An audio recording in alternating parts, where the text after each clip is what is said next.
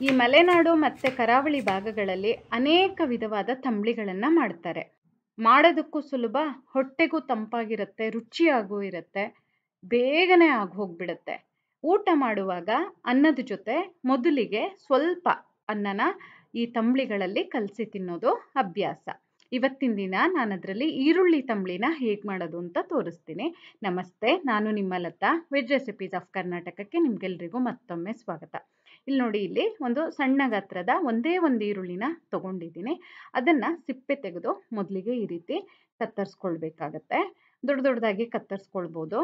ಆಮೇಲೆ ಒಂದು ಮಿಕ್ಸಿ ಜಾರಲ್ಲಿ ಅರ್ಧ ಕಪ್ಪಷ್ಟು ತೆಂಗಿನ ತುರಿ ಅಥವಾ ಈ ರೀತಿ ಕತ್ತರಿಸಿರುವಂತಹ ತೆಂಗಿನಕಾಯಿ ಹಾಗೆ ಕತ್ತರಿಸಿರುವಂತಹ ಈರುಳ್ಳಿ, ಒಂದರಿಂದ ಎರಡು ಒಣಮೆಣಸಿನ್ಕಾಯಿ. ಈ ತಂಬ್ಳಿಗಳು ಖಾರ ಹೆಚ್ಚು ಇರೋದಿಲ್ಲ ಯಾವಾಗಲೂ. ಸೊ ನೋಡಿಕೊಂಡು ಹಾಕಿ, ಒಂದು ಹಾಕಿದ್ರೆ ಸಾಕು, ಈರುಳ್ಳಿ ಖಾರನೂ ಇರುತ್ತೆ ಅಲ್ವಾ? ಹಾಗಾಗಿ ನಾನು ತೆಂಗಿನಕಾಯಿ ಚೂರು ಮಾಡಿ ಬಳಸಿರೋದ್ರಿಂದ ಮೊದಲಿಗೆ ನೀರು ಹಾಕಿದೆ, ಹಾಗೆ ಪುಡಿ ಮಾಡಿಕೊಂಡೆ. ಆಮೇಲೆ ಅದಕ್ಕೆ ರುಚಿಗೆ ತಕ್ಕ ಹಾಗೆ ಉಪ್ಪು ಹಾಕಿ, ಅಗತ್ಯ ಇರೋಷ್ಟು ನೀರನ್ನು ಹಾಕಿ ನುಣ್ಣಗೆ ಹರ್ಕೊಳ್ಬೇಕು ಈರುಳ್ಳಿ ತಂಬ್ಳಿನೂ ಕೂಡ ಈರುಳ್ಳಿ ಹುರಿದು ಮಾಡ್ಬೋದು. ಅದು ಇನ್ನೊಂದು ವಿಧಾನ. ಇದು ಹಸಿ ಈರುಳ್ಳಿಲಿ ಮಾಡೋದು. ತುಂಬ ಅಂದರೆ ತುಂಬ ರುಚಿಯಾಗಿರುತ್ತೆ. ಇಲ್ಲಿ ನೋಡಿ ಅರ್ಧ ಆದಮೇಲೆ ಕೊನೆಯಲ್ಲಿ ಅರ್ಧ ಕಪ್ಪಷ್ಟು ಮೊಸರು ಹಾಕ್ತಾ ಇದ್ದೀನಿ. ಮೊಸರು ಇಲ್ಲ ಅಂದರೆ ಒಂದು ಕಪ್ಪಷ್ಟು ಮಜ್ಜಿಗೆ ಬೇಕಾದರೂ ಹಾಕ್ಬೋದು.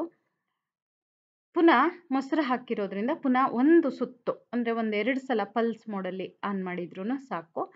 ಆ ಥರ ಮಾಡಿ ಒಂದು ಪಾತ್ರೆಗೆ ತಗೊಂಡು ನಿಮಗೆ ಎಷ್ಟು ಬೇಕೋ ಅಷ್ಟು ನೀರನ್ನು ಸೇರಿಸ್ಬೇಕು. ಇದು ಸಾಧಾರಣ ತುಂಬ ಗಟ್ಟಿ ಚಟ್ನಿ ಥರ ಗಟ್ಟಿ ಇರಲ್ಲ, ಸಾರು ಥರ ನೀರಾಗೂ ಇರಲ್ಲ. ಒಂದು ದಪ್ಪ ಮಿಲ್ಕ್ ಶೇಕ್ ಇರುತ್ತಲ್ಲ ಆ ಹದಕ್ಕಿರುತ್ತೆ. ನೀವು ನೋಡಿಬಿಟ್ಟು ನೀರು ಬೇಕಾದಷ್ಟು ಹಾಕಿ, ರುಚಿಗೆ ತಕ್ಕ ಹಾಗೆ ಉಪ್ಪನ್ನು ಸಹ ಹೊಂದಿಸ್ಕೊಳ್ಳಿ. ಕೊನೆಯಲ್ಲಿ ಒಂದು ಒಗ್ಗರಣೆ ಕೊಡಬೇಕು. ಒಗ್ಗರಣೆಗೆ ಎಣ್ಣೆ, ಸಾಸಿವೆ, ಒಣಮೆಣಸು ಮತ್ತು ಕರಿಬೇವನ್ನು ಹಾಕ್ತಾ ಇದ್ದೀನಿ ನಾನಿಲ್ಲಿ. ನೀವೇ ನೋಡಿದ್ರಲ್ಲ, ಎಷ್ಟು ಬೇಗ ಆಯಿತು ಅಂತ. ಸೊ, ನೀವು ಯಾವುದೇ ಗಡಿಬಿಡಿಲಿದ್ದಾಗ ಅಥವಾ ಮನೆಗೆ ಸದ, ಸಡನ್ನಾಗಿ ನೆಂಟ್ರ ಯಾರಾದರೂ ಬಂದವಾಗ ಒಂದು ಐಟಮನ್ನು ಸುಲಭವಾಗಿ ಮಾಡ್ಬೋದು.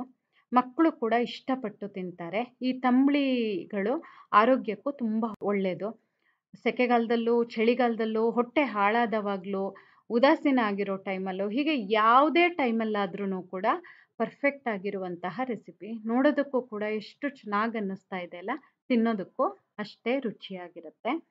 ನೀವು ಖಂಡಿತ ಟ್ರೈ ಮಾಡಿ ನೋಡ್ತೀರಾ ಅಲ್ವಾ? ಟ್ರೈ ಮಾಡಿ. ನಿಮಗೆ ವಿಡಿಯೋ ಇಷ್ಟ ಆದಲ್ಲಿ ಲೈಕ್ ಮಾಡಿ, ಶೇರ್ ಮಾಡಿ, ಕಮೆಂಟ್ ಮಾಡಿ ಹಾಗೆ ನಮ್ಮ ಚಾನಲಿಗೆ ಸಬ್ಸ್ಕ್ರೈಬ್ ಮಾಡೋದನ್ನು ಮರಿಬೇಡಿ. ಧನ್ಯವಾದಗಳು.